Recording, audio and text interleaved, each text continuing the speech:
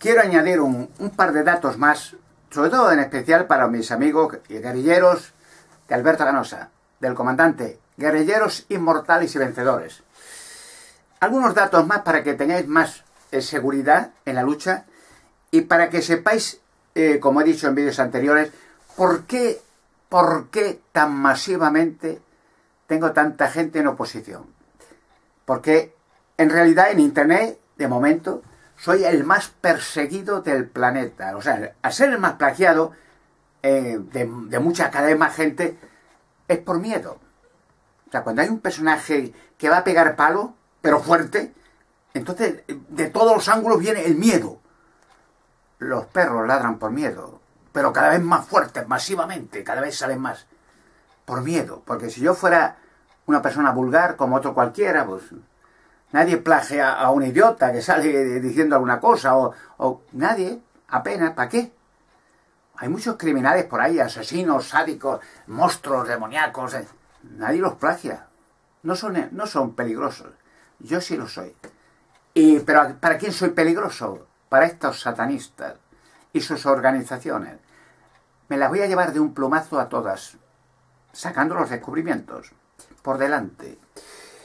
Voy a contar un, unos detalles más para que tengáis ya en mente por qué tanta intensidad en plagiarme día, día, día, día de todos los ángulos. Voy a algunos datos para que tengáis ya en el puzzle más piezas, se vaya formando una cara.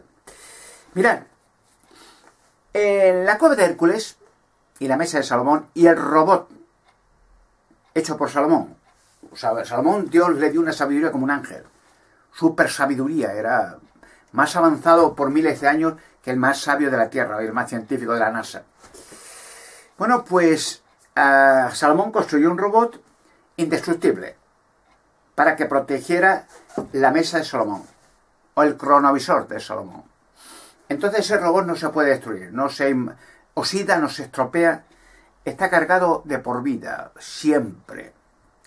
Cuando, por ejemplo, si leen la historia de España, en el año 711, pues cuando el rey Rodrigo imprudentemente rompió los candados y entró por la puerta a la cueva de Hércules, había una maldición y se cumplió.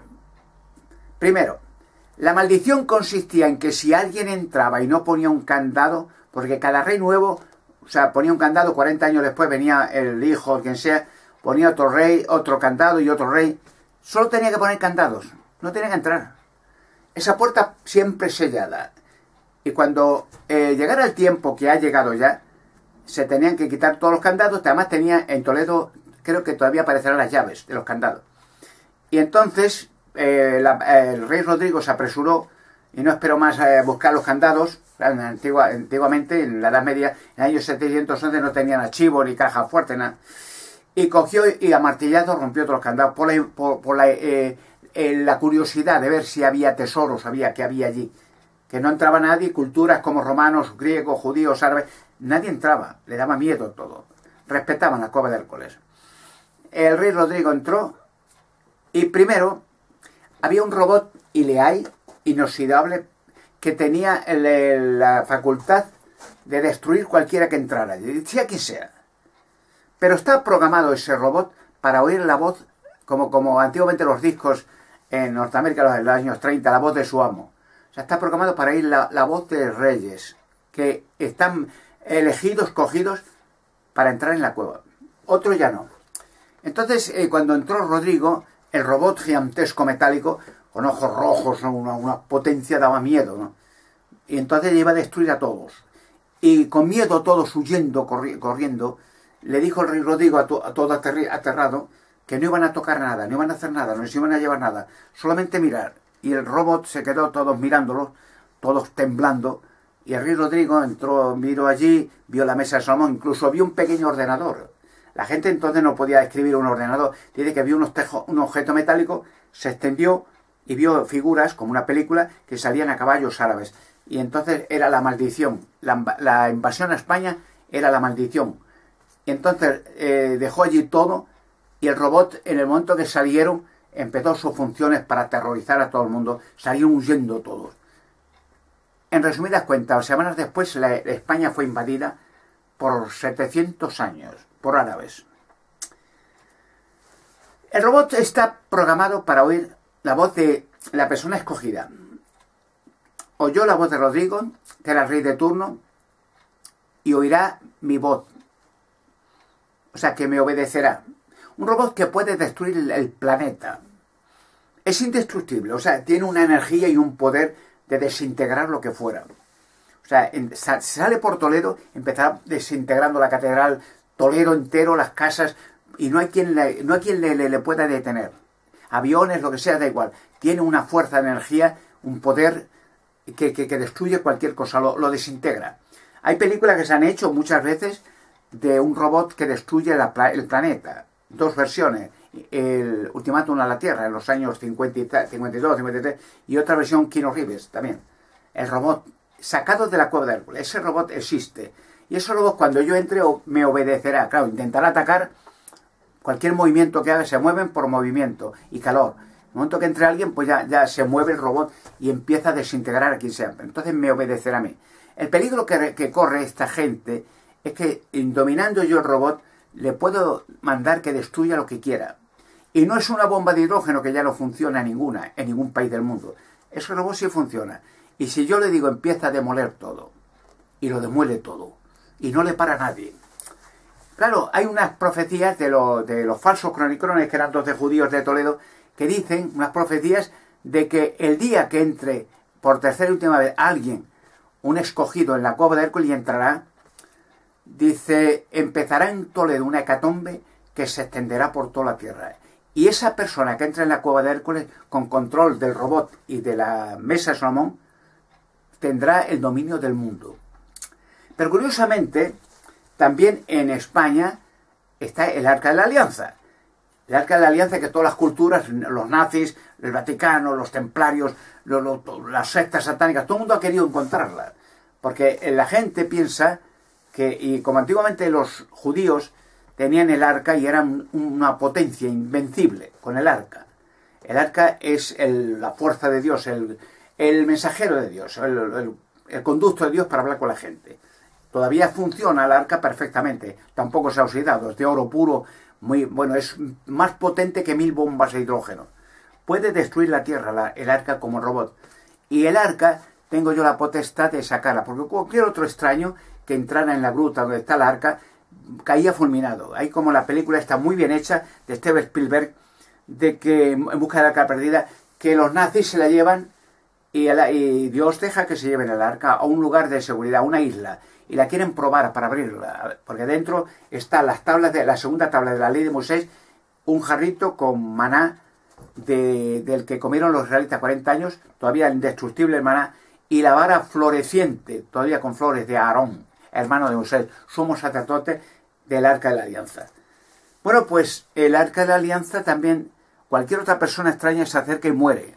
en la película de Steven Spielberg es muy buena, una idea fantástica, por eso digo, los, los productores de Hollywood son profetas, ¿eh? Dice que cuando hacen una prueba los nazis en una isla eh, y abren el arca ya es en la trampa. Empieza a salir energía del arca y los desintegra a todos. A todos y solamente queda en la película, claro, Harrison Ford y la muchacha, su amiga, atados, porque le dice a Harrison Ford que no abra de ninguna manera los ojos, no vea lo que está pasando, no vea el arca, no mire. Y el arca, la energía del arca le da vueltas hacia él, pero él, prudentemente no quiere mirar, no quiere ver. Y entonces demuele y desintegra todo, los nazis. No queda ni uno, ni cuerpos. Y a, él lo, lo, libera. Y entonces el arca vuelve a cerrarse. Y en la película se le llevan a las Almacenes Misoniano, porque allí eh, había miles de esqueletos de gigantes que mandó destruir la UNESCO y también hay instrumentos antiguos de miles de años con microchip de tumbas antiguas. Pero también hay las profecías del arca que el que tenga potestad, como lo tenía Aarón, de entrar una vez al año a hablar con Dios por medio del arca, el que tenga potestad, dicen las profecías judías, sobre el arca de la alianza, tiene control del mundo. O sea, doble. La cueva de Hércules la mesa de Salomón, el robot y el arca de la alianza. Claro, es lógico que una persona tenga que tener esa autoridad, porque si no nadie podría sacar el arca jamás. porque cualquiera que se acercara, pues moría. Y como hoy no hay un, pueblo de Israel como antiguamente que era el pueblo de Dios, con levitas, con Aarón, no hay nadie, nadie puede decir de qué tribu es, de qué tribu era, ni uno, ni un judío solo. Pues es obvio que ninguno está en potestad de entrar al arca de la alianza, llevársela o ordenar que se la lleven. Y yo diré quién se la tiene que llevar, cómo, cuándo y dónde. Pero estando yo presente, no pasará nada a nadie.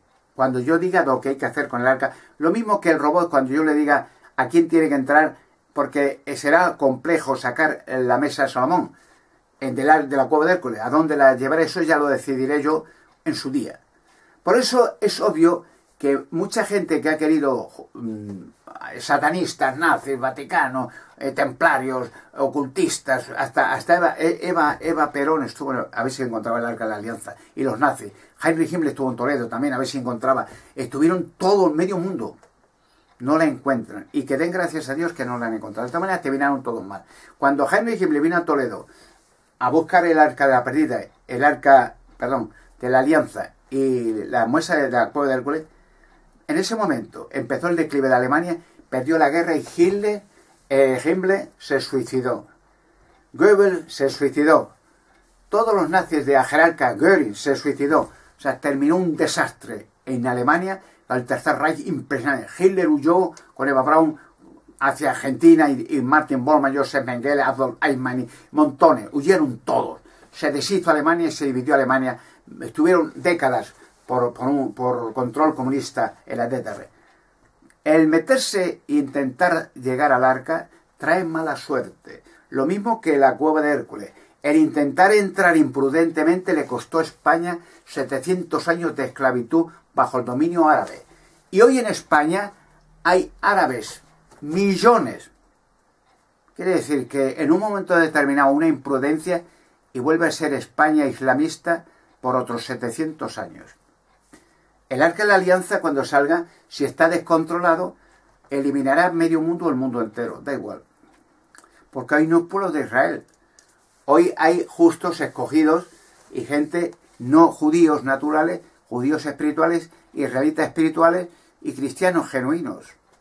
Ellos no les pasará nada. Y a la gente eh, de corazón noble. Pero el fin del mundo tiene que venir.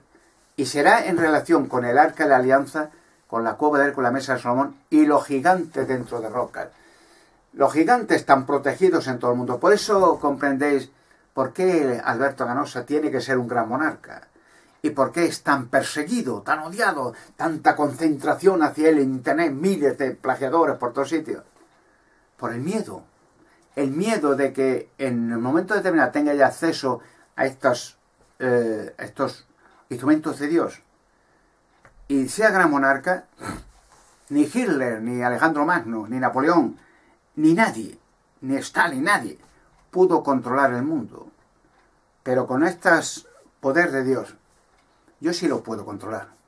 Si de momento con tanta persecución tengo ya gente por todas guerrilleros cada vez más masivamente, ¿qué será cuando sea gran monarca y controle el arca de la alianza, la cobre con el robot y todo eso? No me intereso por el mundo. Eso no es mi plan, es revelar estos enigmas misterios. El tema principal no es gobierno del mundo, eso está de Dios.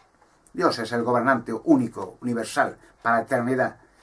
Pero el tema profundo de mis trabajos e investigaciones es desbaratar las obras del diablo. Como dicen las Sagradas Escrituras, el tema de Jesucristo al llegar a la tierra fue, según literalmente en la Sagrada Escritura, en la primera carta de Juan, capítulo 3, versículo 8. Dice textualmente el motivo por cual fue enviado Jesucristo a la tierra y se, transformó en un hombre. Para esto dice, fue manifestado Jesucristo para desbaratar las obras del diablo. Entonces, para esto se va a hacer el gran monarca, Alberto Ganosa, para desbaratar las obras del diablo, completas, y sus organizaciones todas.